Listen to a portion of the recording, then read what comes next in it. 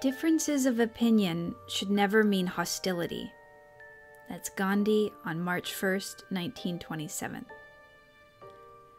What's really at issue here is, is uh, this profound and fundamental question who are we?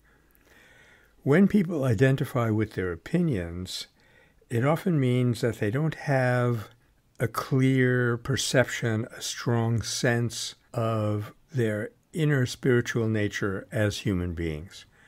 Once we become grounded in that, what I'm calling that inner spiritual nature, one characteristic of it is that it is indistinguishable from the inner spiritual nature of other people.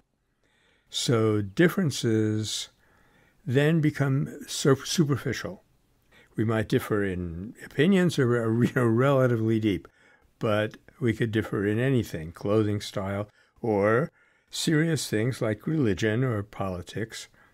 None of those differences need to lead to alienation dehumanization, hostility, if we have a grounding underneath them, a clear sense that when all is said and done, we do share our deepest characteristics as human beings.